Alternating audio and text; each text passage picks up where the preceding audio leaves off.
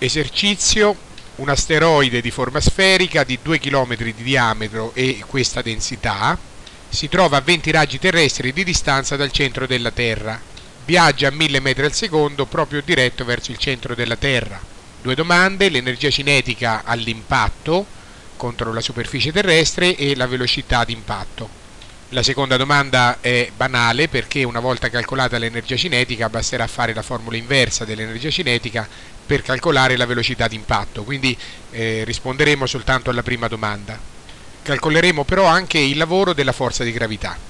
Questa è la situazione, l'asteroide in A, la forza di gravità che lo attrae verso la Terra durante la caduta e quindi già eh, capiamo che la forza di gravità fa il lavoro motore sull'asteroide perché l'asteroide si sposta verso destra e la forza di gravità pure lo tira verso destra, quindi perfetto lavoro motore.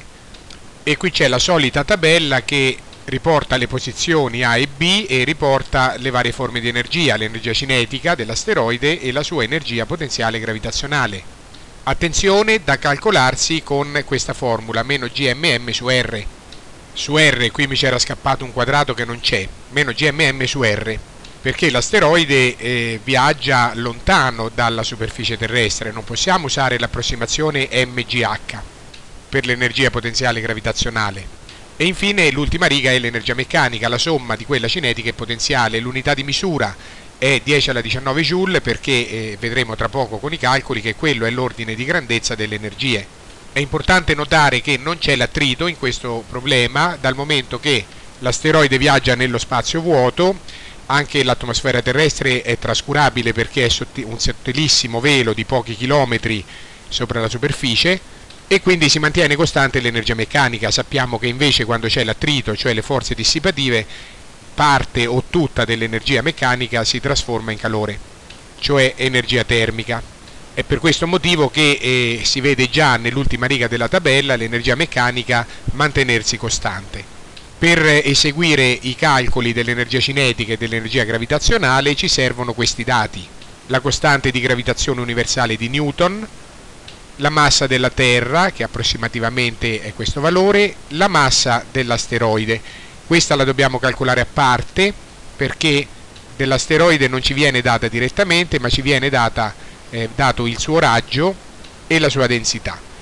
Dopo vediamo come calcolare la massa dell'asteroide poi abbiamo la distanza iniziale dell'asteroide dal centro della Terra 20 raggi terrestri e la distanza finale dal centro della Terra un raggio terrestre, dove il raggio della Terra si può approssimare con 6400 km. I 20 raggi terrestri iniziali sono la distanza tra A e O. Un raggio terrestre finale è la distanza tra B e O. Tipico errore degli studenti prendono come distanza finale 0 anziché un raggio terrestre perché eh, confondono la distanza R che si trova nella formula dell'energia potenziale gravitazionale con la quota. La quota è 0, H, H è 0, ma nella formula dell'energia potenziale gravitazionale non c'è la quota, c'è la distanza dal centro, quindi un raggio terrestre alla fine. Ora vediamo come si calcola la massa dell'asteroide. Abbiamo la densità e il volume, la densità è massa fratto volume, formula inversa, la massa è densità per volume, la densità è nota, il volume lo calcolo perché è il volume di una sfera, tiraggio un chilometro. Il testo ci diceva che il diametro era 2 km, il diametro dell'asteroide. Quindi con i calcoli viene questo volume dell'asteroide che vado a sostituire al posto di questa formula, al posto di V, quindi densità per volume e questa è la massa dell'asteroide, dell'ordine di 10 alla 13 kg che è molto meno della massa della Terra. La massa della Terra è l'ordine 10 alla 25 kg.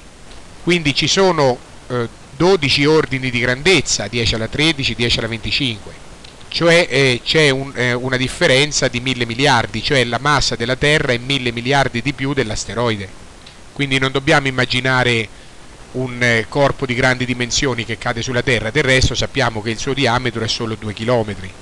Ora che abbiamo la massa dell'asteroide possiamo calcolare eh, l'energia cinetica dell'asteroide all'inizio.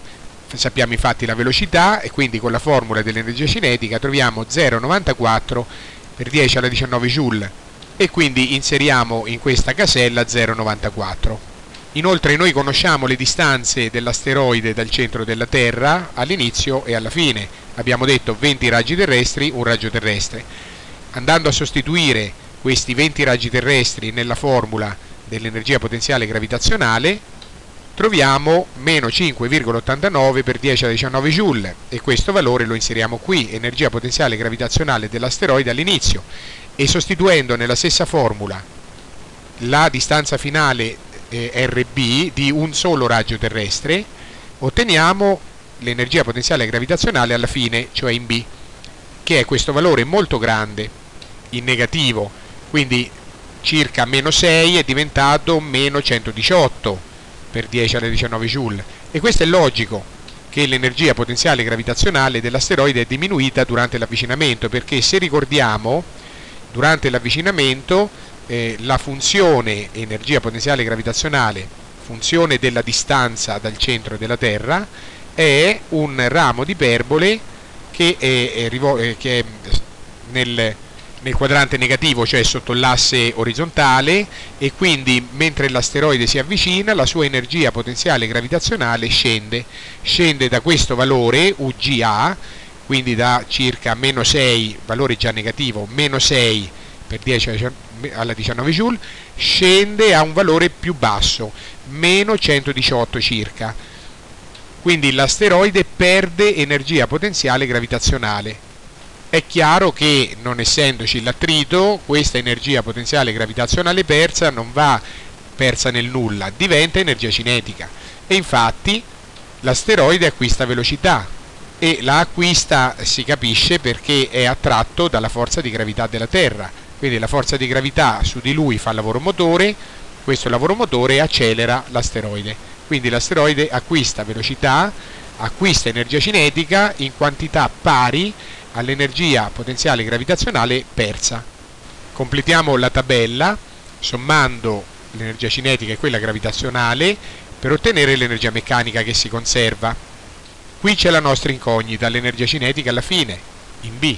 Questo valore è il valore adatto tale che sommato a quest'altro fa meno 4,95. Quindi questo valore è 112,9. Lo abbiamo ottenuto prendendo l'energia meccanica, e sottraendo l'energia potenziale gravitazionale. Quindi 112,9 per 10 alla 19 joule è l'energia cinetica finale. In pratica abbiamo eseguito questa, questo procedimento, cioè l'energia meccanica in A e in B è uguale perché non c'è l'attrito, ma l'energia meccanica in A è la somma di questi due, quindi l'energia cinetica più quella gravitazionale, l'energia meccanica in B invece è la somma di questi altri due, energia cinetica e gravitazionale in B. Questa è un'equazione con quattro termini, di cui uno incognito e tre dati. Mi ricavo il termine incognito, l'energia cinetica in B, prendendo la somma di questi due, che è l'energia meccanica, cioè è questo valore qua per 10 alla 19 joule, e sottraendo eh, l'energia gravitazionale in B che porto di là col segno meno. Quindi l'energia cinetica in B è questo, l'energia meccanica, meno questo, l'energia gravitazionale in B, è il calcolo di prima e questo è il, risultato.